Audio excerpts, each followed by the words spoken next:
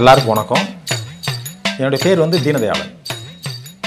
எல்லோரும் என்னை சுவாமி தயாளன்னு கூப்பிடுவாங்க. இல்லைன்னா ஜோசியர் அப்படின்னு கூப்பிடுவாங்க. நான் வந்து என்னுடைய பூர்வீகம் சிவகங்கை மாவட்டத்தை சேர்ந்த இளையான்குடி அப்படிங்கிறது தான் என்னுடைய பூர்வீகம். அங்கே தான் நான் பிறந்தது. சுமார் ஒரு பன்னெண்டு வயசு வரைக்கும் நான் அங்கே தான் இருந்தேன். என் தந்தை அங்கே ஆசிரியராக பணியாற்றிக்கிட்டு இருந்தார். அதுக்கப்புறம் நான் வந்து அங்கேருந்து பரமக்குடி அங்கே வந்து நான் படித்தது எல்லாமே அங்கே தான் ஃபஸ்ட்டு அப்போ ஆரம்பத்தில் வந்து சின்ன சின்ன தொழில்கள் நான் செஞ்சிட்ருந்தேன் அதுக்கப்புறம் தொண்ணூறு தொண்ணூற்றி ஒன்று ஆயிரத்தி தொள்ளாயிரத்தி தொண்ணூறு தொண்ணூற்றி ஒன்றில் எனக்கு வந்து மாந்திரிகம் கற்றுக்கிறணும் ஜோசியர் ஆகணும் ரொம்ப பாப்புலாரிட்டி ஆகணும். ஒரு மனிதன் வந்து பாப்புலாரிட்டி ஆகணும் அப்படின்னா ஒன்று அரசியல் இல்லைன்னா சினிமா இல்லைன்னா மாந்திரிகம் ஜோசியம் இந்த மாதிரியான இதில் இருந்தால் தான் ஒரு மனிதன் வந்து பாப்புலாரிட்டி வர முடியும் அப்படிங்கிறதுனால நான் வந்து மாந்திரிகம் கற்றுக்கிறணும்னு எனக்கு ஒரு ஆசை. அதன் மூலமாக வந்து நிறைய இந்த சாமியார்களையெல்லாம் பார்ப்பேன் சாமியார்களை சந்தித்து பேசுவேன் அதில் ஒரு ஆர்வமாக இருப்பேன். அப்படி இருக்கிற காலகட்டத்தில் நான் மாந்திரிகம் கற்றுக்கிறணும் அப்படிங்கிற எனக்குள்ளே ஒரு ஆர்வம் எனக்குள்ளே ஒரு ஆசை நிறைய இருந்துச்சு. அப்போது கேரளா அப்படின்னு சொல்லக்கூடிய இந்த குட்டாரக்கரான்னு சொல்லக்கூடிய இடம் ரொம்ப மாந்திரிகத்திற்கு மந்திர மாந்திரிகளுக்கு ரொம்ப பேர் போன இடம் அது. அங்கே போய் ஒரு சில நபர்களை வச்சு சந்தித்து அங்கே தான் நான் மாந்திரிகம் கற்றுக்கிற ஆரம்பித்தேன் கொஞ்சம் கொஞ்சமாக நாளடைவில் வந்து மாந்திரிகங்கள் கற்றுக்கிறும்போது ஒரு ஜோதிட சாஸ்திரங்கள் தெரியணும் அப்படிங்கிறதுக்காக ஜோதிட சாஸ்திரம் தெரிஞ்ச ஒரு சில பண்டிதர்களிட அவங்களுடைய உதவியில் ஜோதிட சாஸ்திரங்கள் நவகிரகங்கள் ஆராய்ச்சிகள் பண்ணுறது நவகிரகங்களை பற்றி தெரிஞ்சுக்கிறது ராசி மண்டலத்தை பற்றி தெரிஞ்சுக்கிறது கைரேக சாஸ்திரம் பார்க்குறது ரெண்டாவது வாக்குகள் பலிதமாகிறதுக்காக வராகி என்று சொல்லக்கூடிய அந்த மந்திரங்கள் உச்சாட்டனம் பண்ணால் உங்களுக்கு வந்து அந்த வாக்கு பலிதங்கள் ஆகும்னு சொல்லுவாங்க. இதுக்காக நான் வந்து பல நாள் விரதம்லாம் இருந்து ஒரு வேளை மட்டும் நான் சாப்பிடுவேன். எங்கள் குடும்பம் ரொம்ப பூர்வீகத்தில் இருந்து தலைமுறை தலைமுறையாக ரொம்ப வைராக்கியமான இந்து குடும்பத்தை சேர்ந்தவங்க. எங்கள் அம்மா வந்து ரொம்ப வைராக்கியமாக தெய்வ வழிபாடுகளில் உள்ளவங்க எங்கள் அம்மா. எங்கள் அப்பா வந்து ஐயப்பன் கோயிலுக்கு மாலை போட்டு குருநாதராக போயிட்டு வர்றவர். அந்த மாதிரியான ஒரு இந்து வைராக்கியமான ஒரு குடும்பத்தில் வாழ்ந்து வந்தவன் நான். விரதங்கள் இருக்கிறது பூஜை புனஸ்காரங்கள் மந்திர மாந்திரிகங்கள்.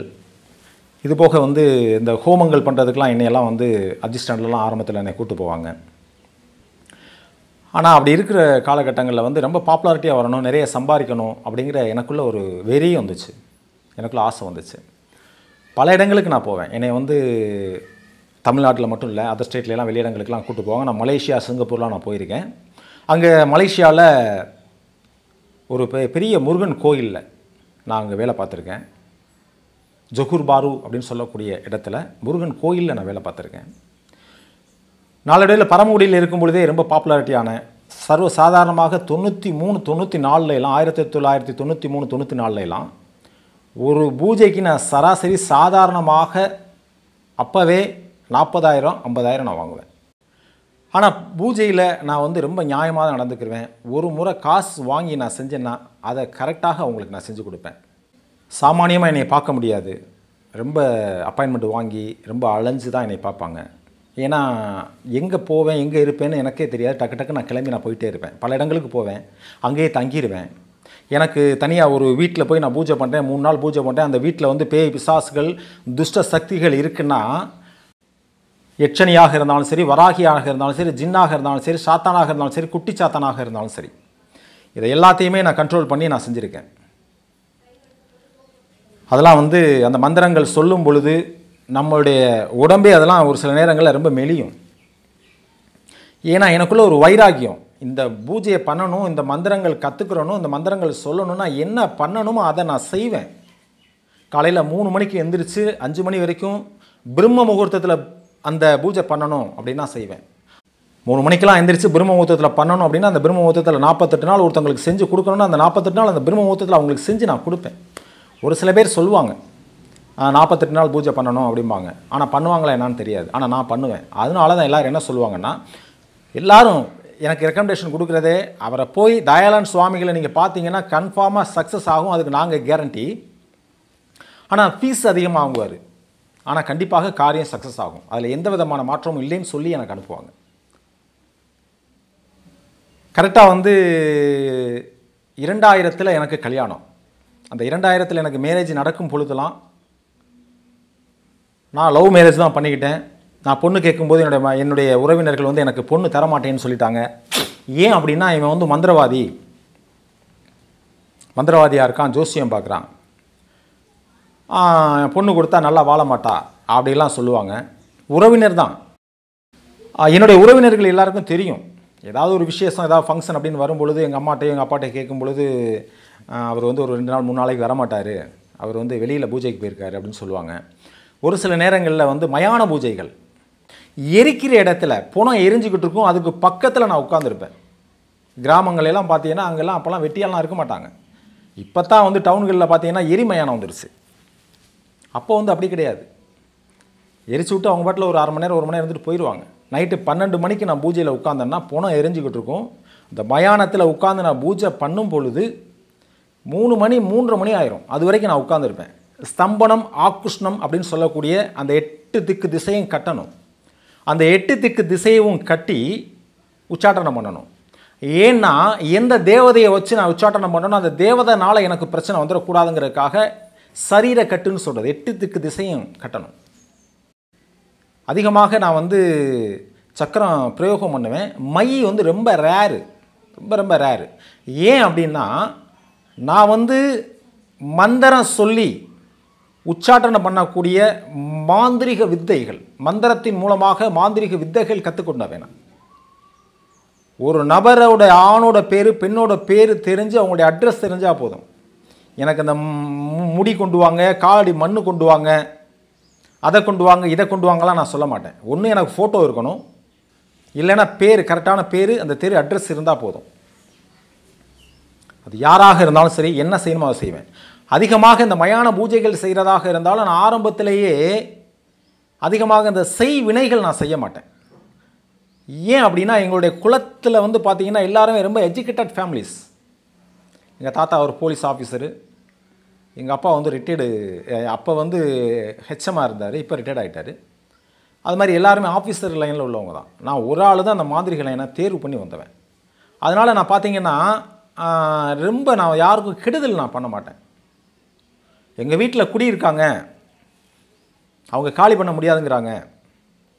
எனக்கு வந்து அரசியல் செல்வாக்கு இருக்குது பண செல்வாக்கு இருக்குது நான் காலி பண்ண முடியாது அப்படின்னு சொல்கிறாங்க அப்படின்னு சொல்லி என்கிட்ட வந்தாங்கன்னா அப்போவே எண்பதனாயிரம் ரூபாயிலேருந்து ஒன் லேக் வரைக்கும் நான் அப்போ வாங்கியிருக்கேன். ஏன் அப்படின்னா அந்த பூஜை வந்து நான் மயானத்திலேருந்து பண்ணணும். சரீரத்தில் பிரச்சனைகள்லாம் ஏற்படும். அந்த சரீரத்துக்கு உண்டான பிரச்சனைகள்லாம் தாங்கக்கூடிய வல்லமை அந்த மந்திர சக்தியை உச்சாட்டனம் பண்ணி நான் செய்யணும்.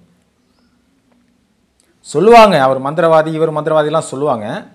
ஆனால் மயானத்தில் இருந்து உச்சாட்டனம் பண்ணும் பொழுது எங்கே யாருக்காக நான் செய்கிறேனோ அந்த இடத்துல அவங்க வீட்டில் அவங்க வீட்டில் இருக்கக்கூடிய பொருள் கீழே விழுகும்.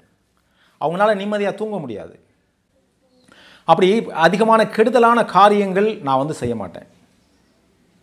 ஏன் அப்படின்னா வருங்கால தலைமுறைகளில் வந்து நம்மளுக்கு பாதிப்புகள் ஏற்படக்கூடாது. யாராக இருந்தாலும் செய் வினை அந்த வினை அவங்களே போய் சேரும்.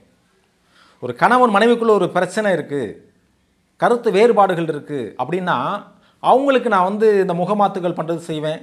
ரெண்டாவது லவ்வர்ஸ் இருக்காங்க இல்லையா அந்த லவ்வர்ஸ் சே அதாவது வந்து பெரிய ரொம்ப உண்மையிலே நேசிக்கிறவங்களான்னு நான் பார்ப்பேன். நான் வந்து ஆருடம் பார்த்து முத்து போட்டு பார்ப்பேன். இவங்களுக்கு செய்யலாமா செய்யக்கூடாமான்னு ஆருடம் போட்டு முத்து போட்டு நான் பார்ப்பேன். அப்படி பார்த்ததுக்கப்புறம் தான் நான் செய்வேன் செய்ய மாட்டேன்னு சொல்லுவேன். எவ்வளவு பெரிய ஆளாக இருந்தாலும் சரி எந்திரிச்சு வெளியில் போங்க அப்படின்ட்டுவேன் நான். யாராக இருந்தாலும் சரி எவ்வளோ பெரிய ஆளாக இருந்தாலும் சரி வந்து உட்காரும் பொழுது அவன் எப்படி உட்காராங்கிறத முதல்ல நான் பார்ப்பேன். இல்லைன்னா எந்திரிச்சு நீ வெளியில் போ அப்படிம்பேன் நான். யாராக இருந்தாலும் என்னுடைய உறவினர்களே என்கிட்ட பேசுகிறதுக்கு யோசிப்பாங்க என் தாயை தவிர. அந்த செய்வினை அப்படிங்கிறது நம்ம ஒருத்தவங்களுக்கு செய்யும் பொழுது பின்னால் நம்முடைய சந்ததிகளை பாதிக்கும் அப்படிங்கிறது என்னுடைய குருநாதர் எனக்கு சொல்லிக் கொடுப்பாரு. அதனால் அதிகமான கெடுதல்களை நான் செய்ய மாட்டேன். காலை கையை முடக்கிறது அதெல்லாம் செய்ய மாட்டேன். ஆனால் வான் பண்ணுவேன். உனக்கு வந்து எச்சரிக்கிறேன். நீ இதை பண்ணலைன்னா நான் காலை கையை முடக்கிடுவேன் நான் சொல்லுவேன். அந்த பரமக்குடியில் இருந்து எனக்கு வந்து இரண்டாயிரத்தில் தான் எனக்கு பரமக்குடியில் எனக்கு மேரேஜ் இரண்டாயிரத்தில் இரண்டாயிரத்துக்கு மேலே நான் வந்து நான் மதுரை வந்துட்டேன். இரண்டாயிரத்தி அஞ்சிலிருந்து இரண்டாயிரத்தி ஏழில் மலேசியா சிங்கப்பூரில் நான் இருந்தேன். அதுக்கப்புறம் இரண்டாயிரத்தி எட்டில் மதுரையில் போத்தீஸ் பக்கத்தில் ஒரு காளியம்மன் கோயில் இருக்குது அங்கே போய் கேட்டாலே சொல்லுவாங்க. ஆமாம் அங்கே இருந்தார் அப்படிம்பாங்க. அதான் அப்படியே காலங்கள் போயிட்டு இருக்கும் பொழுது ரெண்டாயிரத்தி எட்டு லாஸ்ட்டு ரெண்டாயிரத்தி ஒம்போதுன்னு நினைக்கிறேன்.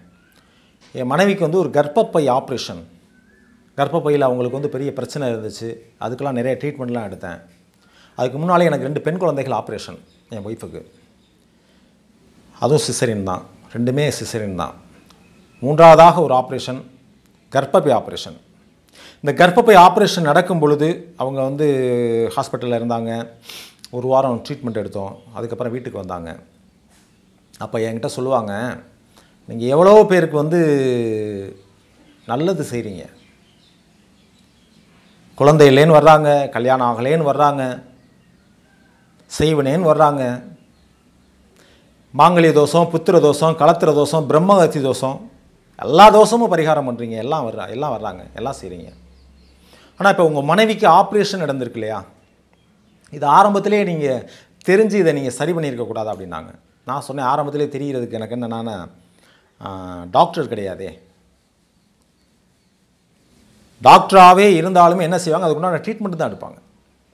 அவங்களுக்கு எப்போ போல வகுத்த வலி இருந்துச்சு ட்ரீட்மெண்ட் எடுக்கும்பொழுது கர்ப்பப்பையில் ஒரு சின்ன கட்டி இருக்குன்னு சொன்னாங்க. அந்த சின்ன கட்டிக்கு வந்து ஒரு ட்ரீட்மெண்ட் எடுத்தோம். அலோபதியில் எடுத்தோம் சித்தால் எடுத்தோம் ஹோமியோபதியில் எடுத்தோம். நாளடைவில் அது நாளாக நாளாக நாளாக அதோடைய வலிகள் வந்து பெருக ஆரம்பிச்சிச்சு. அதுக்கப்புறம் ஸ்கேன் எடுக்கணும்னாங்க. ஆப்ரேஷன் பண்ணி ஆகணும்னாங்க. கர்ப்பப்பை எடுக்கணும்னாங்க. அப்போ ஒரு சில பேர்லாம் சொன்னாங்க இந்த மாதிரி வந்து வயசு ரொம்ப சின்ன வயசாக இருக்கே கர்ப்பப்பை எடுக்கலாமா அப்படின்னாங்க. வேறு வழி இல்லை கர்ப்பப்பை எடுத்தோம் ஆகணும் அப்படின்னாங்க டாக்டர். அப்போ என்கிட்ட ஒப்பீனியன் கேட்டாங்க. சரி ஓகே ரெண்டு குழந்தை பிறந்துருச்சு. அதனால் நீங்கள் கர்ப்பப்பை எடுக்கிறதுனா எடுத்துருங்க அப்படின்னு சொல்லி சொன்னேன். அதே மாதிரி கர்ப்பப்பை எடுத்தாங்க. எடுத்தாங்க பெட் ரெஸ்ட் எடுத்தாங்க ட்ரீட்மெண்ட் எடுத்துகிட்டு வீட்டுக்கு வந்தோம். அது அப்போது என்னுடைய மனநிலைகள் வந்து கொஞ்சம் பாதிப்பு அடைஞ்சிச்சு. என்ன பாதிப்பு அப்படின்னா அதிகமாக நம்ம கெடுதல்கள் நம்ம செஞ்சதில்லை நிறைய நன்மைகள் நம்ம செஞ்சுருக்கோம். நவக்கிரக காயத்ரிக்காக இருந்தாலும் சரி நவக்கிரகத்திற்காக இருந்தாலும் சரி இல்லை சப்த மாத்திற்காக சப்த மண்டலங்களுக்காக இருந்தாலும் சரி முப்பத்தி முக்கோடி தேவர்களை வணங்குறதாக இருந்தாலும் சரி அதில் எந்த விதமான குறைபாடும் இல்லாமல் அவங்களுக்கு செய்ய வேண்டிய பூஜை புனஸ்காரங்கள் படையல்கள் இது எல்லாமே நான் முறையாக தான் செஞ்சுட்டு வந்தேன். அப்படி காலகட்டங்களில் மறுபடியும் என் மனைவிக்கு என்ன ஆச்சுன்னு சொன்னால் ரெண்டாயிரத்தி பதினெட்டு மார்ச் மாதம் அதுக்கு முன்னாலேயே ரெண்டாயிரத்தி ப ப பதினேழு இந்த லாஸ்ட்லாம் அவங்களுக்கு இந்த லைட்டாக ரோமங்கள்லாம் முளைக்க ஆரம்பிச்சிச்சு. குரல் வளம் பேச குரல் வளம் மாறுச்சு. அது எல்லோரும் என்ன சொன்னாங்கன்னா தைராய்டு சுரபியாக இருக்கும். அந்த டீச்சர்ஸ் வேலை பார்க்குறாங்க இல்லையா? அவங்க கத்தி கத்தி பேசுனாங்கன்னா அவங்களுக்கு வரும்லையே அது மாதிரி வந்திருக்கும் உங்கள் மனைவிக்கு. அப்போல்லாம் தொண்டை டாக்டரை பார்த்தேன் வயிற்று டாக்டரை பார்த்தேன் எல்லாம் பார்த்தேன். எல்லோரும் மாத்திரை மருந்து எல்லாம் கொடுத்தாங்க. என் மனைவிக்கு லைட்டாக ரோமம் வளர ஆரம்பிச்சிச்சு. அதை பார்க்கும் பொழுது எனக்கு கோபம் வேற வந்துச்சு. என்ன எப்படி இருக்க? ஏன் இந்த மாதிரி இருக்கு? உனக்கு என்ன பிரச்சனை எல்லாம் கேட்பேன். ஏன்னா ஒரு சில நேரம் என் மனைவிட்ட கூட நான் டென்ஷனாக தான் பேசுவேன். அப்புறம் சரின்னு சொல்லிட்டு எல்லாரும் என்ன சொன்னாங்கன்னா சரி டாக்டர்கிட்ட காமிங்கன்னா ஒரு டாக்டர்கிட்ட காமிச்சேன். காமிக்கும் பொழுது அவர் என்ன சொன்னார்னா உங்கள் மனைவிக்கு வந்து தைராய்டு சம்மந்தப்பட்டமான சுரப்பிகள்னால வரலை. அது யார் சொன்னாங்க? உங்கள் மனைவிக்கு ஓவரிஸில் பிரச்சனை. முதல்ல ஸ்கேன் எடுங்க அப்படின்னாங்க. சரின்னு சொல்லிட்டு ஓவரிஸில் பிரச்சனைன்னு சொல்கிறார்ல டாக்டர் அவங்க படித்த படிப்புக்கு அவங்களுக்கு மரியாதை கொடுக்கணும் இல்லையா? அதே மாதிரி ஸ்கேன் எடுத்தேன். ஸ்கேனில் எடுத்துகிட்டு அவர் காமிச்சார் அந்த ஸ்கேன் அப்படி திருப்பி காமிச்சார். ரெண்டு ஓவரிஸ் இந்த ரெண்டு ஓவரிஸில் ஒன்று சிறுசாக இருக்குது ஒன்று பெருசாக இருக்குது பார்த்தீங்களா பத்து நாளைக்குள்ளே நீங்கள் ஆப்ரேஷன் பண்ணலைன்னா உங்கள் மனைவியை நீங்கள் உயிரோட பார்க்க முடியாது அப்படின்னார் அந்த டாக்டர் நான் சொன்னேன் ஏற்கனவே மனைவிக்கு வந்து ரெண்டு சிசரின்னு அப்புறம் வந்து ஒரு கர்ப்பப்பை ஆப்ரேஷனு இப்போ ஓவரிஸ் ஆப்ரேஷன் பண்ண சொல்கிறீங்களே இதுக்கு ட்ரீட்மெண்ட் கிடையாது அப்படின்னு. ட்ரீட்மெண்ட் இருக்குது நீங்கள் வந்து ஒரு ஆறு மாதத்துக்கு முன்னால் வந்திருந்தா இருக்குது இதை உள்ளே இருந்து ஆறு மாதமாக வளர்ந்துருக்கு. ஏன் உங்கள் மனைவி நீங்கள் சரியாக கவனிக்கிறது இல்லையா? நீங்கள் ட்ரீட்மெண்ட் எடுத்துருக்கலாம்ல. இப்போ நீங்கள் ஸ்கேன் எடுத்ததை ஏற்கனவே எடுத்துக்கலாம்ல அப்படின்னார். நான் சொன்னேன் எனக்கு எதுவுமே தெரியாது. உள்ளே இருக்கிறது எனக்கு எப்படி தெரியும்? ஏற்கனவே அந்த கர்ப்பப்பைக்கு உண்டான பிரச்சனை தான் அந்த ஓவரிஸுக்கும் கர்ப்பப்பைக்கு ஒரு பிரச்சனை வந்தால் அதனுடைய வலியும் வேதனையும் என்னன்னு பெண்களுக்கு தான் தெரியும். கர்ப்பப்பையில் மட்டும் இல்லை ஓவரிஸில் ஒரு பிரச்சனை வந்து வகுத்த வலி வந்தா சொல்லுவாங்க இல்லையா அவன் அவனுக்கு வந்தால் தான் வகுத்த வலி பல்லு வலி அவனுக்கு வந்தால் தான் ஏன் தெரியும் அப்படிம்பாங்க இல்லையா? என் மனைவி அப்படியே புழு மாதிரி சு- அப்படியே பிறழுவாங்க அதுக்கப்புறம் தான் நான் வந்து ட்ரீட்மெண்ட் எடுக்கிறதுக்கு சம்மதிச்சு அப்புறம் டாக்டர் ஏற்கனவே கர்ப்பப்பை ஆப்ரேஷன் பண்ண அந்த டாக்டரை போய் பார்த்து நான் சொன்னேன் இந்த மாதிரி வந்து கர்ப்பப்பையில் பிரச்சனை இருந்து நீங்கள் தான் ஆப்ரேஷன் பண்ணீங்க. இப்போ ஓவரிஸில் பிரச்சனை இருக்குன்னு சொல்கிறாங்க ஏன் வேறு டாக்டர்கிட்ட போகணும்னு சொல்லிட்டு நான் உங்கள்கிட்டே வந்தேன். அந்த டாக்டர் என்ன சொன்னார்னா நீங்கள் ஏற்கனவே ட்ரீட்மெண்ட் எடுத்துருக்கணும். நீங்கள் ஆப்ரேஷன் பண்ணிட்டு போனதுக்கப்புறம் நீங்கள் இந்த பக்கமே வரலை. அப்பப்போ நீங்கள் செக் பண்ணுங்கன்னு சொன்னி நீங்கள் பண்ணலை. இப்போது சிவியராக இருக்குது அவர் சொன்னது மாதிரி வந்து நீங்கள் அங்கே போய் பார்த்துருக்கீங்க அவர் செக் பண்ணி பார்த்துருக்காரு. அவர் அந்த ஸ்பெஷலிஸ்ட் அவர். உண்மைதான். ஆனால் அது மாதிரி நீங்கள் ஆப்ரேஷன் பண்ணணும். சாமி இல்லைன்னா உங்கள் மனைவி உயிரோட பார்க்க முடியாது அப்படின்னு ஓகே எவ்வளோ செலவாகும்? அப்படின்னு கேட்டேன். செலவை பற்றி ஒன்றும் பிரச்சனை இல்லை பண்ணிக்கலாம் அப்படின்னாங்க. அதே மாதிரி பண்ணிருங்கன்னு சொல்லிட்டேன். அந்த ஆப்ரேஷன் பண்ணிருங்கன்னு சொன்ன அன்னைக்கு நைட்டு நான் தூங்கவே இல்லை. ஆப்ரேஷன் முடிஞ்சிச்சு. அதிலே பாதி டென்ஷன் ஆகிட்டேன் நான். என் மனைவியை அட்மிட் பண்ணியிருந்த ஹாஸ்பிட்டலில் அந்த ரூமில் போட்டால் தான் வச்சுருந்தேன். ஒவ்வொரு நாளும் டெய்லி எலுமிச்சம்பழம் நல்ல அழகான எலுமிச்சம்பழமாக பார்த்து நானே அதுக்கு வந்து மந்திரிச்சு அவங்களுக்கு ஆப்ரேஷன் நல்லபடியாக முடியணும் வைக்கணும் அப்படின்னு சொல்லி சொல்லுவேன். இப்படி இந்த ஆப்ரேஷன் நடக்கிற காலகட்டங்களில் அதுக்கு முன்னால் இந்த ஆப்ரேஷன் பண்ண போகிறோம் அப்படின்னு சொன்னோம் பார்த்தீங்களா? அப்போ என் மனைவி என்ன செஞ்சாங்கன்னா அவங்களுடைய உறவினர்கள் ஒரு சில பேருக்கு ஃபோன் பண்ணுறாங்க அந்த உறவினர்களில் என் என்னுடைய மனைவியோட சகோதரர் அவர் ஆரம்பத்தில் வந்து இப்போ ஒரு பதினஞ்சு வருஷத்துக்கு முன்னாலேயே இயேசு அப்படின்னு சொல்லக்கூடிய தெய்வத்தை அவர் போய் ஞானஸ்தானம்லாம் பண்ணி அந்த கிறிஸ்டியானிட்டியில் மாறிட்டார். அப்போ என்கிட்ட வந்து அவர் கேட்கும் பொழுது மாமா இந்த மாதிரி நீங்கள் வந்து இந்த பூஜை புனஸ்காரங்கள் இதெல்லாம் செய்யாதீங்க. இது வந்து உலக வாழ்க்கைக்கோ நம்ம இறந்ததுக்கப்புறம் மோட்சம் போக முடியாது. பிள்ளைகளுக்கு மனைவிகளுக்கெல்லாம் பிரச்சனை ஏற்படும் அப்படின்னா. அப்போ என் மனைவிட்ட சொன்னேன் உன் தம்பிக்கு என்ன தைரியம் இருந்தால் என்கிட்ட நேரடியாக வந்து இவன் பேசுவான். நான் வந்து காலை கையெல்லாம் முடக்கிடுவேன். உன் தம்பிலாம் நான் பார்க்க மாட்டேன். காலை கையெல்லாம் முடக்கிடுவேன். என்ன? சும்மா என்கிட்ட வந்து அதில் அதை பண்ணாதீங்க இதை பண்ணாதீங்க எனக்கெல்லாம் அட்வைஸ் கொடுக்கக்கூடாதுன்னு சொன்ன நான் அவங்ககிட்ட தான் போய் என் மனைவி வந்து ஃபோன் பண்ணி எல்லாம் கேட்டிருக்காங்க. இந்த மாதிரி வந்து ஆப்ரேஷன் பண்ண போகிறோம் அப்படிங்கும்போது அவங்க என்ன சொல்லியிருக்காங்கன்னா உன்னுடைய கணவனை இப்போவாது நாங்கள் சொல்கிறத கேளுங்க. உன்னுடைய கணவனை உன் கணவன் கணவன்கிட்ட மனைவி நல்லா இருக்கணும் குடும்பம் நல்லா இருக்கணும் நீ நினச்சினா? ஏவல் பில்லி சூனியங்கள் இந்த துஷ்ட சக்திகளில் இருந்து விலகி.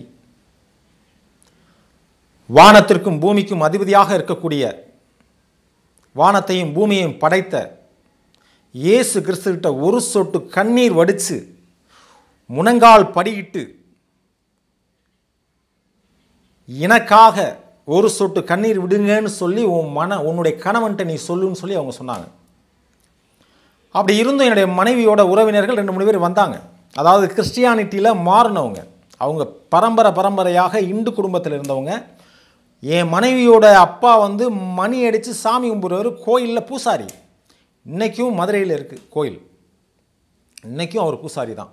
அவங்க அண்ணன் தம்பி மாமன் மச்சனை எல்லாருமே இந்த ஒரு வருஷத்துக்கு ஒரு முறை மாறி மாறி மர வரக்கூடிய அந்த பங்குதாரர்கள் அந்த கோயிலுக்கு. அதில் ஒரு பங்குதாரர்களுடைய சித்தப்பாவோட பையன்தான். அவங்க சித்தப்பாவும் வந்து பூசாரி தான் ஆனால் அவன் வந்து கிறிஸ்டியானிட்டியில் மாறிட்டான். மாறி பைபிள் வாசிக்க அதை பண்ண இதை பண்ண அவன் அந்த மாதிரி போயிட்டான். அவங்ககிட்ட சொல்லும் பொழுது தான் அவங்க லைனில் உள்ளவங்க என்னை நேரில் வந்து பார்த்தா நான் எதுவும் சொல்லுவேன்னு நினச்சிட்டு நேரில் வந்து சொல்லாமல் மறைமுகமாக என் மனைவிட்ட சொன்னாங்க. அப்புறம் கொஞ்சம் தைரியத்தை ஏற்படுத்திக்கிட்டு நம்ம மக தம்பியோட மக உயிர் முக்கியம் அப்படின்னு நினச்சி என் மனைவியோட அதாவது என் மாமனாருடைய கூட பிறந்த சகோதரி என் மனைவியோட அத்தை அவங்க வந்தாங்க. அவங்க ஒரு ஆள் தான் என்கிட்ட கொஞ்சம் தைரியமாக பேசுவாங்க. என்னப்பா இந்த மாதிரி வந்து உன் மனைவிக்கு இந்த மாதிரி இருக்குது நாங்கள் சொல்கிறத நீ கேட்க மாட்டேங்கிற. என்ன? நீ ஒரு முறையாவது தயவு செஞ்சு நான் சொல்கிறத கேளு. ஒரு முறையாவது ஏதாவது ஒரு ஆலயங்களில் போய் நீ இங்கே போ அங்கே போகலாம் சொல்ல. இயேசுவை வழிபடக்கூடிய ஏதாவது ஒரு ஆலயங்களில் போய் ஓ மனைவிக்காக உன்னை நம்பி வந்த மனைவி விரும்பி நீ கல்யாணம் பண்ண. உன்னை நம்பி வந்த மனைவிக்காக ஒரு சொட்டு கண்ணீர் வடிச்சு. நீ அதை செய் இதை செய் பைபிள் வாசி மதம் மாறலாம் நாங்கள் யாரும் சொல்லலை. நீ எப்பவும் போல் இருந்துக்க. ஆனால் இந்த ஒரு விஷயத்தை மட்டும் நீ அவர்கிட்ட போய் கேளு அப்படின்னாங்க. இல்லை தப்பாக நினச்சிக்காதீங்க அதெல்லாம் என்னால் முடியாது அப்படின்னு. அப்புறம் ஆஸ்பத்திரியில் அட்மிட் ஆக்குறோம். ஆப்ரேஷன் நடக்குது. ஆப்ரேஷன் நல்லபடியாக முடியுது. பெட்டில் இருக்காங்க. த்ரீ ஆர் ஃபோர் டேஸ் இருக்காங்க. அப்போ டாக்டர் சொல்கிறாரு எப்போவுமே கர்ப்பப்பை ஆப்ரேஷன் மார்பக ஆப்ரேஷன் ஓவரிஸ் ஆப்ரேஷன் இதெல்லாம் பண்ணும் பொழுது அதை நாங்கள் வந்து டெஸ்ட்டுக்கு அனுப்புவோம். அதில் கேன்சர் எதுவும் இருக்கான்னு பார்ப்போம். ஏன்னா அவங்க மனைவிக்கு ஏற்கனவே கேன்சர் கட்டி இருந்து தான் கர்ப்பப்பை எடுத்தோம். ஏன்னா என் மனைவியோட தாய்க்கு கேன்சர் இருந்துச்சு. என் மனைவிக்கு கேன்சர் இருந்துச்சு. என் மனைவிக்கு அடுத்து என்னுடைய பிள்ளைகளுக்கு என்னுடைய பெண் குழந்தைகளுக்கு கேன்சர் வரக்கூடாதுன்னு நான் எவ்வளவு ஆதங்கத்தில் இருந்தனோ எவ்வளோ ஒரு ஆர்வத்தில் இருந்தனோ அது வந்து ஒவ்வொரு தாய் தகப்பனுக்கு தான் அது அது தெரியும்.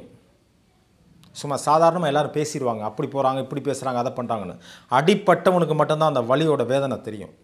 ஆயிரக்கணக்கில் லட்சக்கணக்கில் சம்பாரித்து என்ன பண்ண? நிம்மதி வேணும் மனுஷனுக்கு. அப்போ அந்த டாக்டரு டெஸ்ட்டுக்கு அனுப்பணுன்னாரு ஓகே சார் டெஸ்ட்டுக்கு அனுப்புங்க அப்படின்னு அதே மாதிரி டெஸ்ட்டுக்கு அனுப்பிட்டாங்க. டெஸ்ட்டுக்கு அனுப்பும்போது என் மனைவி டிச்சார்ஜ் மூணு நாள் கழித்து நாங்கள் ஃபோன் பண்ணுவோம் அப்படின்னாங்க. என் மனைவியை நான் வீட்டுக்கு கூட்டிகிட்டு வந்துட்டேன். அப்போவும் நான் பூஜைகள் எல்லாம் பண்ணிக்கிட்டு தான் இருக்கேன். என் மனைவியோட உறவினர்கள் சொன்னதை எதையுமே நான் கேட்கல. எனக்கு ஃபோன் பண்ணாங்க. நர்ஸு ஃபோன் பண்ணாங்க. டாக்டர் உங்களை வர சொல்கிறாங்க அப்படின்னாங்க. அதே மாதிரி டாக்டர் நான் போய் பார்த்தேன். அதாவது முதல் டெஸ்ட் நாங்கள் பண்ணியிருக்கோம். எங்களுக்கு வந்து டவுட்டாக இருக்குது கேன்சர் இருக்கிறதுக்கு உண்டான வாய்ப்பு இருக்குது சரியாக எங்களுக்கு பிடிபடலை. இன்னொரு டெஸ்ட் எடுக்கணும் அப்படிங்கிறாங்க. அப்போ தான் நான் டாக்டர்கிட்ட சொன்னேன். என்ன டாக்டர் என்ன சொல்கிறீங்க ஆப்ரேஷன் பண்ணணுன்னே ஆப்ரேஷன் பண்ணிட்டீங்க? டெஸ்ட் எடுக்க சொன்னேன். டெஸ்ட் எடுத்தாச்சு. நல்லபடியாக சூப்பராக முடிஞ்சிச்சு. ஹண்ட்ரட் பர்சன்ட் சக்ஸஸ் நீங்கள் தான் சொன்னீங்க. ஆனால் இப்போ டெஸ்ட்டில் வந்து ப்ராப்ளம் இருக்குது அது சரியாக தெரியலேன்னு சொல்கிறீங்க அப்படின்னு. ஆமாம் நாங்கள் என்ன செய்ய நாங்கள் கடவுள் இல்லையே டாக்டர் தானே. டெஸ்ட்டு எடுத்திருக்கோம் அப்படி சார் சாமி டெஸ்ட்டு எடுத்திருக்கோம். ஆனால் அதில் வந்து இன்னொரு டெஸ்ட் எடுத்து இது பண்ணால் கன்ஃபார்மாக தெரியும்னு எங்களுக்கு ரிப்போர்ட் வருதுல்ல அப்படின்னா சரி ஓகே. அவர்கிட்ட சொல்லிவிட்டு சரிங்க சார் நீங்கள் இன்னொரு டெஸ்ட் எடுங்கன்னு சொல்லிவிட்டு என்னுடைய பைக் எடுத்துகிட்டு நான் வந்து பல தடவை அந்த வீட்டிலேருந்து அந்த ஹாஸ்பிட்டலில் போயிருக்கேன். ஏன்னா எங்கள் அம்மா வந்து ஹாஸ்பிட்டலில் வச்சுருந்தோம். ட்ரீட்மெண்ட்டுக்கு என் மனைவியை கர்ப்பப்பை ஆப்ரேஷனுக்கு பத்து நாள் வச்சுருந்தோம். இப்போ ஓவரிஸ் ஆப்ரேஷனுக்கு வச்சுருந்தோம். என்னோடய இடத்துக்கும் அதுக்கும் வந்து ஒரு பத்து கிலோமீட்ரு சர்வசாதாரணமாக போயிட்டு வருவேன் அந்த இடத்துக்கு. ஆனால் நான் பைக்கை ஸ்டார்ட் பண்ண உடனே என்னுடைய நிலை என்கிட்ட கிடையாது. இது முக்காலும் சத்தியம். இந்த நிலை என்கிட்ட கிடையாது. இவ்வளவு பூஜைகள் பண்ணி இவ்வளவு புனஸ்காரங்கள் பண்ணி இவ்வளவு சாமி வழிபாடு பண்ணி இத்தனை தடவை வேல் குத்தி காவடி எடுத்து என்னென்னமோ நம்ம செஞ்சுருக்கோம். கர்ப்பப்பை ஆப்ரேஷன்லேயும் நம்ம கும்பிட்ட சாமி நம்மளை கைவிட்டுருச்சு. ஓவரிஸ் ஆப்ரேஷனாக முடிஞ்சிச்சு அதுலேயா சரியாகும்னு பார்த்தா அதுலேயும் கர்ப்பப்பையில் பிரச்சனை இருந்த மாதிரி ஓவரிஸில் பிரச்சனை இருக்குன்னு சொன்னால் அப்புறம் என்ன? அப்படிங்கும்போது எனக்குள்ள பயங்கரமான ஒரு கோபம் வந்துச்சு. இந்த பைக்கை நான் ஓட்டிகிட்டு வரேன் சகோதரர்களே என்னுடைய உடன்பிறவாத நண்பர்களே தாய்மார்களே தந்தைமார்களே. என் இடத்துல நீங்கள் இருந்து பாருங்கள் அந்த இடத்துல நீங்கள் இருந்தால் நீங்கள் எப்படி இருப்பீங்க? உங்களோட மனநிலை எப்படி இருக்கும்? உங்கள் மனைவிக்கோ உங்கள் மகளுக்கோ இருந்தால் எப்படி இருக்கும்? பைக்கை நான் ஓட்டிட்டு வேறு எங்கேயோ போயிட்டேன். ஆனால் யாரையும் மோதலை யாருக்கும் ஆக்சிடென்ட் பண்ணலை எதுவும் பண்ணலை. நான் பைக் ஓட்டுறேன் பார்வை பார்க்குறேன் எல்லாம் செய்கிறேன் மக்கள் வர்றாங்க பார்க்குறேன். ஆனால் நான் போன போக வேண்டிய இடம் வேறு போன இடம் வேறு. ஏன்னா என்னோட மதி மயங்கி விட்டது. கிட்டத்தட்ட அதுக்கும் அதுக்கு சம்மந்தம் இல்லாமல் வேறு ஏதோ ஒரு ஏரியா போயிட்டேன். அப்புறம் அங்கேருந்து திரும்பி வந்து வீட்டுக்கு வந்து என் மனைவிட்ட சொன்னேன் என்னங்க டெஸ்ட் வந்துருச்சான்னு கேட்டாங்க. வந்துருச்சு. டாக்டர் சந்தேகமாக இருக்குன்னு சொல்கிறாங்க அப்படின்னு சொன்னேன். என்னங்க எப்படி சொல்கிறீங்க அப்படின்னாங்க. ஆமாப்பா சந்தேகமாக இருக்குன்னு சொல்கிறாங்க இன்னொரு தடவை டெஸ்ட் எடுக்கணும்னு சொல்ல டெஸ்ட்டு கொடுத்துருக்கேன். நான் என்ன பண்ணுறது அப்படின்னேன். அப்போ தான் என் மனைவி அழுக ஆரம்பித்தாங்க அவங்க தம்பி ஏற்கனவே கிறிஸ்தவனாக மாறிவிட்ட அவருடைய தம்பி அவருடைய அத்தை இவங்க எல்லாத்துக்கும் ஃபோன் பண்ணுறாங்க எல்லாரும் வந்துட்டாங்க. எல்லாரும் வந்துட்டாங்க. ஆறு ஏழு பேருக்கு மேலே வந்துட்டாங்க. என்கிட்ட வந்து பேசுகிறாங்க முதல்ல டெஸ்ட்டு வந்துருச்சு. இந்த ரெண்டாவது டெஸ்ட்டு வரணும் வந்து கேன்சர் இல்லைன்னு வரணும்னா அன்னைக்கு சொன்னதை தான் நாங்கள் இன்றைக்கி சொல்கிறோம் ஏதாவது ஒரு ஆலயத்தில் தேவன் வசிக்கக்கூடிய ஒரு ஆலய ஆலயத்தில் இயேசு கிறிஸ்து இருக்கக்கூடிய ஒரு ஆலயத்தில் அது ரோமன் கேத்தலிக்காக இருந்தாலும் சரி சிஎஸ்ஐயாக இருந்தாலும் சரி எந்த சர்ச்சாக இருந்தாலும் சரி போய் மண்டியிட்டு ஒரு சொட்டு கண்ணீர் விட்டு உங்கள் மனைவிக்காக நீங்கள் கேளுங்க. பின்னால் வருத்தப்படாதீங்க அப்படின்னு சொன்னாங்க. அவங்க ஒரு ரெண்டு நாள் இருந்தாங்க. எங்கள் வீட்டில் இருந்து ஜெபம்லாம் பண்ணாங்க. எனக்கு அப்பவும் உடன்பாடு இல்லை. சரி சொல்கிறாங்கல்ல செய்வோமேன்னு சொல்லிட்டு மதுரை சிஎஸ்ஐ தேவாலயம். அந்த தேவாலயத்தில் வண்டியை நிப்பாட்டிட்டு நான் உள்ளே போகிறேன் வெள்ளிக்கிழமை அந்த தேவாலயத்தில் சாயந்தர நேரம் ப்ரேயர் வைப்பாங்க போல் அது எனக்கு தெரியாது. நான் போட்டிருக்கிற உடை காவி வேட்டி கதர் சட்டை நெத்தியில் பட்டை. நான் மை வந்து வசிய மை வைக்காமல் எங்கேயும் போக மாட்டேன். வசிய மை ரெண்டு இடத்துல வச்சுருக்கேன். துராட்சை கொட்டை எல்லாம் போட்டு உள்ளே ஒரு சர்ச்சுக்குள்ளே போகிறேன் உள்ளே போனால் எல்லோரும் என்னை திரும்பி பார்க்குறாங்க. ஏன்னா நான் நடந்து போகும்போது என்னுடைய உடம்புல அவ்வளோ ஒரு வாசம் அடிக்கும். அந்த மாதிரி ஜவ்வாது இதெல்லாம் நான் போட்டிருப்பேன். உங்களுக்கு தெரியும் இல்லையா ஜோசியர்கள் இவங்கெல்லாம் எப்படி இருப்பாங்கன்னு. உள்ளே போய் அந்த இடத்துல உட்கார்ந்தேன். பக்கத்தில் இருக்கிறவங்க திரும்பி பார்த்தாங்க. என் வாழ்நாளில் டென் பாயிண்ட் என் வாழ்நாளில். இப்போ எனக்கு வயசு ஐம்பத்தி ஒன்று ரெண்டாயிரத்தி பதினெட்டு மார்ச் மாதம் இருபத்தோராந்தேதியோ இருபத்தி ரெண்டாந்தேதியோ நினைக்கிறேன். சரியா ஞாபகம் இல்லை. அந்த டேட்டுக்குள்ளே நான் போகிறேன் இங்கே பாஸ்ட் யாருன்னு கேட்டேன். ஏன்னா எல்லாருமே வந்து இந்த வெள்ளை அங்கே உடிச்சு ஒரு நாலஞ்சு பேர் இருந்தாங்க. இங்கே பாஸ்ட் யாருன்னு கேட்டேன். யார் நீங்கள் உங்களுக்கு என்ன வேணும்னு கேட்டாங்க. இல்லை நான் பாஸ்ட்டை பார்க்கணும். ஒரு சின்ன விஷயம். அவர் என்னமோ என்னை பார்த்துட்டு ஏதோ பயந்துட்டார்னு பயந்துட்டாருன்னு நினைக்கிறேன். எதுக்காக இவர் வந்திருக்காருன்னு தெரியலையே. இவர் பார்த்தா ஒரு வித்தியாசமான ஆளாக இருக்கார். பட்டங்கிட்டையும் வந்திருக்காரு அப்படின்னு. அப்போ அவர் சொல்கிறாரு இந்த மாதிரி ப்ரேயர் நடந்துக்கிட்டு இருக்கு. ப்ரேயர் முடியட்டும் பாஸ்ட்டு உங்களை இன்ட்ரடியூஸ் பண்ணி வைக்கிறேன் அப்படின்னாரு. ப்ரேயர் முடிஞ்சிச்சு. அவர் எந்திரிச்சு போனார். அந்த சபையோட அந்த அங்கத்தினராக இருப்பார் போல் அவர். எந்திரிச்சு பாஸ்டர்கிட்ட போனார். இவர் உங்களை பார்க்கணும்னு சொல்கிறாரு அப்படின்னோடனே அவர் சொன்னார் ஒரு நிமிஷம் வெயிட் பண்ணுங்கள் நான் ரெண்டு மூணு பேர் ப்ரேயர் பண்ணணும். உங்களை பார்க்குறேன். அப்போது அவர் என்னை பார்த்த பார்வை வித்தியாசமான பார்வையாக தான் பார்த்தாரு பாஸ்டர் அவர் என்னைய மாதிரி எத்தனையோ பேர் பார்த்துருக்கலாம். எல்லாம் போயிட்டாங்க சபையில். அப்போது அப்போ அவர் ஒரு வார்த்தை ஃபஸ்ட்டு கேட்டவுடனே முதல் கேள்வி உங்கள் பேர் என்ன அப்படின்னு கேட்டார். என்னோடய பேர் தீனதயாளன் அப்படின்னு. தீனதயாளன். நைஸ் நேம் என்ன பிரச்சனை சொல்லுங்கள் அப்படின்னாரு. என் மனைவிக்கு ஆப்ரேஷன் பண்ணி இந்த மாதிரி ஹாஸ்பிட்டலில் வச்சுருந்து நாங்கள் வீட்டுக்கு கூட்டிகிட்டு வந்துட்டோம். ஒரு டெஸ்ட்டில் வந்து இந்த மாதிரி க ஃபஸ்ட்டு வந்து ஒரு டென் இயர்ஸ்க்கு முன்னால் கர்ப்பப்பை ஆப்ரேஷன் பண்ணோம். அதுக்கப்புறம் இப்போ வந்து அவங்களுக்கு ஓவரிஸ் ஆப்ரேஷன் பண்ணோம். ஒரு டெஸ்ட் பண்ண சொன்னாங்க டெஸ்ட் பண்ணோம். அதில் வந்து ப்ராப்ளம் இருக்குது அப்படின்னு சொல்கிறாங்க டாக்டர் ரெண்டாவது டெஸ்ட்டில் ப்ராப்ளம் இருக்குமா இருக்காதுன்னு எங்களுக்கு தெரியாதுன்னு சொல்கிறாங்க ஆனால் என்னை அறியாமல் நான் அழுதேன். நல்லா குணமாக கேளுங்க. என்னுடைய சகோதர சகோதரிகளே என்னுடைய தாய்மார்களே எந்த சூழ்நிலையும் எதற்காகவும் அழுததில்லை நான். அந்த பாஸ்டர் அவருடைய பரிசுத்தமான கரம் என் சிற என்னுடைய தலையில் வச்சு அவர் ஜெபம் பண்ணார். கோகிலாங்கிற நாமத்துக்கு என்னுடைய மனைவியோட பேர் கேட்டார் கோகிலான்னு சொன்னேன். கோகிலாங்கிற நாமத்துக்கு ஆண்டவரே இவருடைய கோரிக்கைகளை விண்ணப்பங்களை உங்களுடைய சேர்க்குறேன் இவர்களுக்கு நல்லபடியாக இருக்கும்னு சொல்லிட்டு ஏதோ நிறைய பேசினார். ஜோம் பண்ணார். அப்போ நான் எந்திரிச்சேன். எந்திரிச்சோன்னே அப்போ அவர் சொன்னார் தினதேளன் நல்லபடியாக போயிட்டு வாங்க. இரண்டாவது முறை வரக்கூடிய டெஸ்ட்டு உங்கள் மனைவிக்கு நல்ல டெஸ்ட்டாக வரும். தைரியமாக இருங்க அப்படின்னாரு. அதே மாதிரி மூணாவது நாள் டெஸ்ட்டு வந்துச்சு. நல்லபடியாக மனைவிக்கு கேன்சர் இல்லை அப்படின்னு வந்துச்சு. ஆனால் நாளடைவில் தான் எனக்கு தெரிஞ்சு அவங்களுக்கு உண்மையிலேயே அந்த ஜெபம் பண்ணலைன்னா நிச்சயமாக அவங்க கேன்சர் வந்திருப்பாங்க. அவங்களுக்கு பிரச்சனை ஆகிருக்கும் அது எனக்கு நாளடைவில் நான் உணர்ந்தேன்.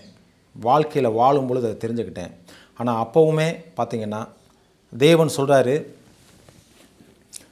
அதாவது சங்கீதம் நான்காவது அதிகாரம் மூன்றாவது வசனத்தில் பக்தி உள்ளவனை கர்த்தர் தமக்காக தெரிந்து கொண்டார் அப்படிங்கிறாங்க. பக்தி வைராக்கியத்தில் அவ்வளோ ஸ்டெடியாக இருக்கும் ஆனால் பக்தி உள்ளனை தமக்காக தெரிந்து கொண்டார் தேவன் என்பது உண்மை.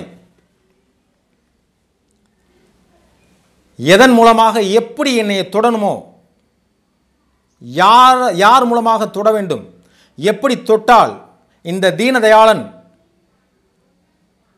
நான் ஆண்டவர்கிட்ட ஆண்டவரை ஏற்றுக்கிறவேன்னு அவரை நினைச்சாரோ அதே மாதிரி அவர் தொட்டார். கொஞ்சம் கொஞ்சமாக யார் யாரை என்னமோ அப்போ சொன்னாங்க நான் கேட்கல. சரி பைபிள் வாசிங்க உங்களுக்கு சமாதானம் வரும் அப்படின்னாங்க. பைபிள் வாசித்தேன் இந்த உலகத்தை படைத்தது ஒரே ஒரு தேவன் தான் நம்மளாக தான் மூதாதையார்கள் மூலமாக ஆயிரம் ஆயிரம் ஆண்டுகளுக்கு முன்னால் அவர்கள் வழிவகுத்தது தான் இந்த தெய்வம் அந்த தெய்வம் அந்த தெய்வத்துக்கு பேர் இது இந்த தெய்வத்துக்கு பேர் இது அப்படின்னு அவங்க வழிவகுத்தது தான் ஆனால் தெய்வம் ஒன்று தான்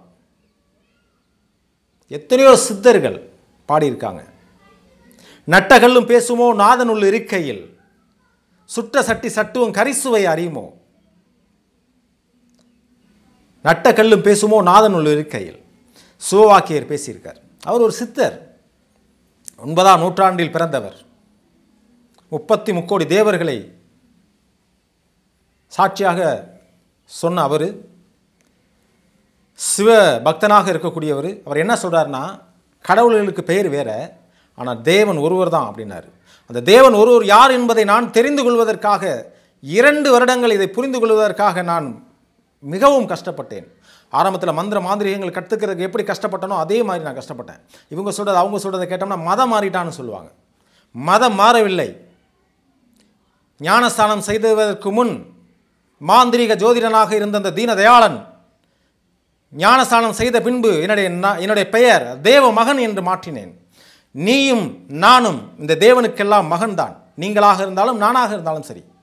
மகளாக இருந்தாலும் யாராக இருந்தாலும் தேவனுக்கு மகன் மகள்தான். என்னை முன்குறித்தார் என்னை தெரிந்து கொண்டார். என்னுடைய கண்கள் திறக்கப்பட்டன. கர்மாவிலிருந்து நான் மாறினேன் இருளிலிருந்து நான் மாறினேன். என் தேவ நாமம் மகிமைப்படும்படியாக நசரீனாகிய இயேசு கிறிஸ்துவின் நாமம் மகிமைப்படும்படியாக நான் வாழ்ந்து காட்டுவேன். எந்த ஒரு சூழ்நிலையிலும் எந்த ஒரு சம்ப சந்தர்ப்பத்திலும் அடியின் பின் வாங்க மாட்டேன். நாம் இறந்தால் நம்முடைய ஆத்மா எங்கு செல்லும் என்பது உங்களுக்கு தெரியுமா? சொர்க்கம் ஒன்று இருக்கிறது நரகம் ஒன்று இருக்கிறது. நம்முடைய வாழ்நாளில் நாம் செய்யக்கூடிய ஒவ்வொருவருடைய கிருகைக்கு தக்கனதாக தானங்களும் தர்மங்களும் செய்துவிட்டால் மட்டும் நாம் பரலோகம் சென்றுவிட முடியாது. நம்மளுக்காக மறித்து இந்த உலகத்தில் வாழ்ந்து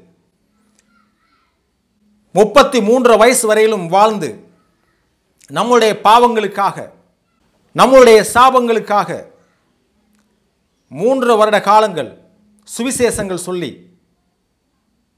பாவக்கட்டிலிருந்து வெளியே வர வேண்டும் என்று சுவிசேஷங்கள் சொல்லி விண்ணையும் மண்ணையும் படைத்தவர் சர்வ லோகத்திற்கும் அதிபதி சிங்காசனத்தில் அமர்ந்திருப்பவர் வானத்தையும் பூமியையும் படைத்தவர் நசரியனாகிய இயேசு கிறிஸ்து. உங்களுடைய பாவத்திற்காகவும் என்னுடைய பாவத்திற்காகவும் மறித்து மூன்றாவது நாள் உயிர் தெளிந்தவர். நம்மளுக்காக நம்முடைய பாவத்திற்காக ரத்தம் சிந்தியவர். எனக்காக பாடுபட்டார் எனக்காக ரத்தம் சிந்தினார் என்பதை நான் தெரிந்து கொண்டேன். இதை தெரிந்து கொள்வதற்கு முதல்ல நம்மளுக்கு அந்த பக்குவம் வேணும் அதுக்கு வேதம் படிக்கணும். எந்த வேத பண்டிதராக இருந்தாலும் சரி இந்த வேதம் படித்து கொண்டால் மட்டும்தான் புரிந்து கொள்ள முடியும். முன்குறிக்க வேண்டும். அதுபோல் என்னை முன்குறித்திருக்கிறார். நான் இப்பொழுது தேவ நாம மகிமைப்படும்படியாக வாழ்ந்து கொண்டிருக்கிறேன்.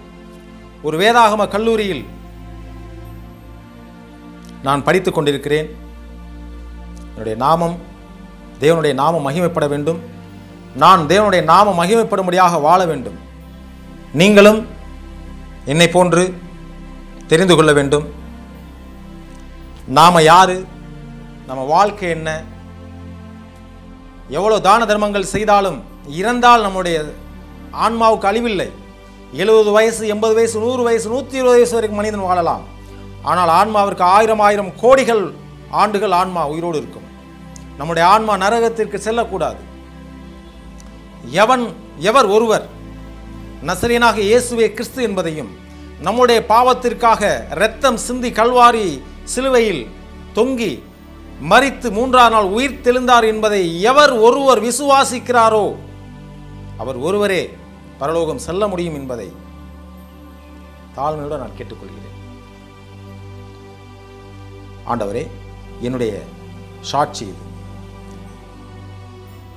தேவனுக்கு சித்தமானால் மீண்டும் நான் உங்களை சந்திக்கிறேன். என்னுடைய சாட்சியை சிறு சாட்சியை என்னுடைய மனைவி ஒரு இரண்டு நிமிடம் இப்பொழுது பேசுவார்கள். இவங்க தான் என்னுடைய மனைவி. இவங்க பேர் தான் கோகிலா. இவங்களுக்கு தான் வந்து அந்த ஆப்ரேஷன் நடந்தது. இவங்கள் மூலமாக தான் இவங்களுடைய உறவினர்கள் மூலமாக தான் தேவனை தெரிந்து கொண்டு அடியன் ரட்சிக்கப்பட்டது. எல்லாருக்கும் வணக்கம். இப்போ என் கணவர் எப்படி ரசிக்கப்பட்டார் அப்படிங்கிறத சிறிய சாட்சியாக சொன்னாங்க. இதில் என்ன அப்படின்னா நாங்கள் இரண்டு பேருமே இந்து குடும்பம். இந்து குடும்பத்துலேருந்து வந்தப்போ ஒரு சில நேரங்களில் வந்து நானே சொல்லியிருக்கேன். இந்த மாதிரி சாட்சிகள்லாம் பார்த்திங்கன்னா பணம் கொடுத்து தான் சொல்லுவாங்க. பணம் கொடுத்து கிறிஸ்தவத்தில் இழுக்கிறாங்க அப்படின்னு சொல்லி நானே சொல்லியிருக்கேன் ஒரு சில நேரங்களில். இப்படிப்பட்ட காலங்கள் வந்து எனக்கு என்னுடைய வாழ்க்கையில் அந்த சோதனைகளை நான் சந்திக்கும் பொழுது ஆண்டவராகிய இயேசு கிறிஸ்து என் வாழ்க்கையில் செய்த அற்புதங்கள் நாங்கள் எப்படி இயேசுவை ஏற்றுக்கொண்டோமோ இது யாரும் சொல்லிக் கொடுத்தோ இல்லை பணம் கொடுத்தோ நாங்கள் மாறலை. தேவன் எங்களுடைய வாழ்க்கையில் ஒரு மரணத்திலிருந்து என்னை விடுவித்தார். எனக்கு கேன்சர் கட்டி இருந்துச்சுன்னு சொன்னாங்க. ஜெபம் பண்ணோம். அதன் மூலமாக ஆண்டவர் எனக்கு அந்த கேன்சர் வியாதியிலிருந்து விடுதலை கொடுத்தார். பிறகு நாங்கள் குடும்பமாய் ஆண்டவராகிய இயேசு கிறிஸ்துவை சொந்த இரட்சகராக ஏற்றுக்கொண்டோம். பாவத்திலிருந்தும் அக்கிரமத்திலிருந்தும் எங்களுக்கு விடுதலை கொடுத்த தேவன் இன்றைக்கு சமாதானமாக எங்களை வாழ வைத்திருக்கிறார். குடும்பமாய் நாங்கள் தேவனை ஆராதிக்கிறோம். நாங்கள் பெற்றுக்கொண்ட அந்த ரட்சிப்பின் அனுபவத்தை ஒவ்வொருவரும் பெற்றுக்கொள்ள வேண்டும் என்று நாங்கள் தேவனிடம் வேண்டிக் கொள்கிறோம். நன்றி. என்னுடைய மனைவி இன்னைக்கு பூர்ண குணமாகி உயிரோடு இருக்காங்க அப்படின்னா அதுக்கு தேவன் கர்த்தர் தான் காரணம். நசரேனாக இயேசு கிறிஸ்து தான் காரணம் அப்படிங்கிறத நான் முழுவதுமாக நான் நம்புகிறேன் நான் முழுவதுமாக நான் தெரிஞ்சுக்கிட்டேன். வணக்கம். இன்றைக்கு அந்த கேன்சர் வியாதியிலிருந்து தேவன் என்னை எப்படி சுகமாக்கி எனக்கு விடுதலை கொடுத்து இந்த காலகட்டங்களில் உங்களோடு பேச வைத்திருக்கிறார். இன்றைக்கி நான் உயிரோடு என் பிள்ளைகளுக்கு தாயாகவும் என் கணவருக்கு மனைவியாகவும் தேவனுக்கு பிள்ளையாகவும் நான் இன்றோடு உயிர் வாழ்ந்து கொண்டிருக்கிறேன். இதற்கு காரணம் நஸ்ரனாகிய இயேசு கிறிஸ்து ஒருவரே. நன்றி.